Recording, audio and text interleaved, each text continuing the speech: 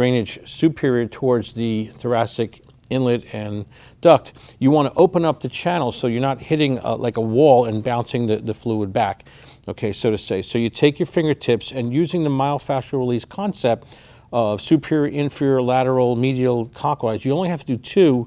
We recommend only doing two release um, techniques, and I would say that would be superior, inferior, medial, lateral.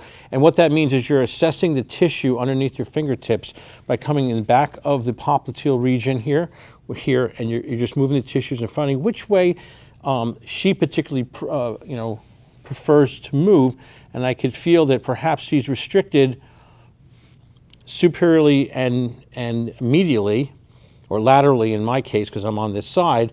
And so I'm going to elect to either stack those one on top of the other and go towards it in an indirect fashion, or I can, I can create a new barrier by going against it. And it would look very similar like this. And the idea is to open up this pathway in the popliteal region, but behind the knee, to move the lymphatic fluid eventually from the, the pedal region up. So it kind of looks like this.